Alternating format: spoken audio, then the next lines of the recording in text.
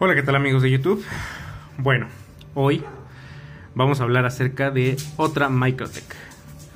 Microtech recientemente sacó un nuevo lanzamiento de un modelo muy conocido por parte de ellos, la LUDT.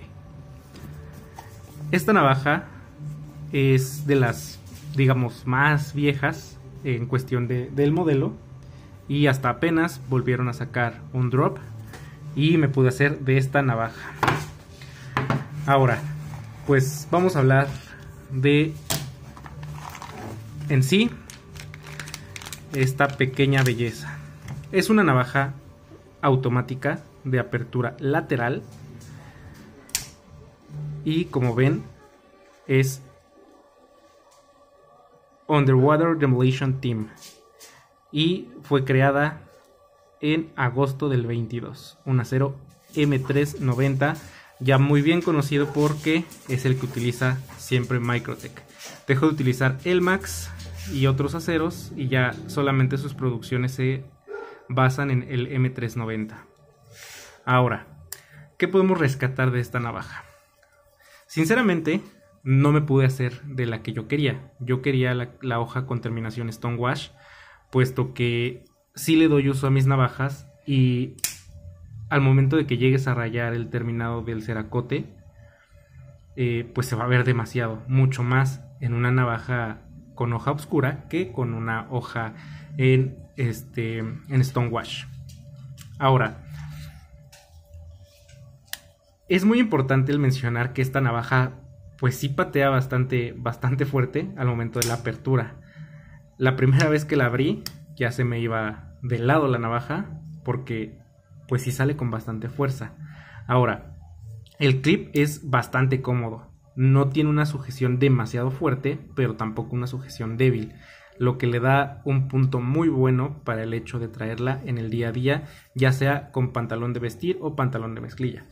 El clip no es de porte tan profundo, ya que queda esta parte por fuera, junto con el lanyard, eh, este lanyard pues es un microcord, o ah no, es un paracord tipo A me parece, si mal no recuerdo. Y pues la verdad es que mucha gente se lo quita porque está un poquito feo. Pero pues funciona para que no se te vaya la navaja. Ahora, vamos a hablar de sus puntos negativos. Punto número uno, negativo. Es muy difícil de conseguir. Tiendas como PBK Vegas no te venden si tu tarjeta de crédito no coincide con la dirección. Entonces ahí estaba la navaja que yo quería y no la pude comprar. Entonces tuve que buscar otra tienda donde no me hicieran ese, ese pancho, pero lamentablemente no estaba la hoja Stonewash. Solamente pude agarrar esta y pues ni modo, ¿para qué me quejo? Ahora, el aluminio es un poco débil en el sentido de que ya se me cayó la navaja Aquí pueden apreciar. Se abolló completamente. Aquí se abolló. Y por acá igual se puede apreciar algunas pequeñas imperfecciones de pues de que ya le, le he traído. Me gusta hacerles nuevamente el unboxing porque pues la experiencia de la apertura cambia mucho la percepción que pueden llegar a tener de un filo. Ahora, otro punto negativo es que estos triangulitos a pesar de que es el mismo tornillo que usa Microtech en diferentes modelos, no son los mismos, no son del mismo tamaño. Entonces, eh, ya he tratado de conseguir la, herramienta en AliExpress y no coincide, solamente coincide con el del pivote.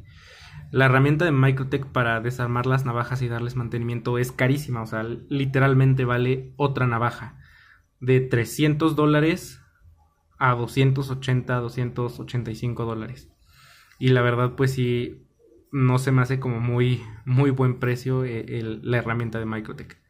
Entonces tengo que seguir en busca de estos bits para poderla desarmar. Ahora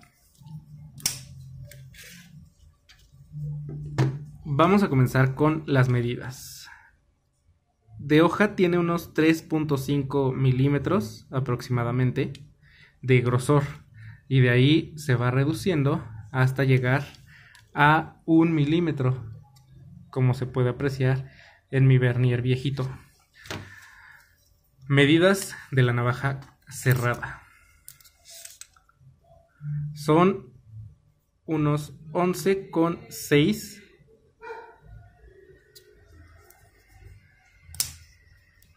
de filo útil tenemos casi los 8 centímetros son unos 7.9 centímetros y de un largo total tenemos 20 con unos 3 milímetros, 20 con 3 milímetros aproximadamente, 20 con 2. Eso lo posiciona en una navaja pues de buen tamaño para traer en el, en el EDC. Ahora, el terminado de, las cachas, pues el material es aluminio, se supone que esto es igual, creo que es ceracote porque no es anodizado según, pero yo lo siento más que igual es un anodizado. Porque si hubiera sido ceracote, se hubiera despostillado esta parte. Y la verdad es que solamente se, sumió, pero con todo y el color. Sí brilla un poquito diferente, pero la verdad es que eso, eso es como por, como por la pulida que se dio cuando se pegó. ¿Qué más podemos decir de esta navaja? Es un poco raro que Microtech tenga navajas automáticas de apertura lateral, pero sinceramente no me arrepiento de tenerla. De hecho, pues sí extraño mi, mi Stitch, pero muy pronto igual espero hacerme nuevamente de un Stitch para continuar con esta adicción. Knife Addiction.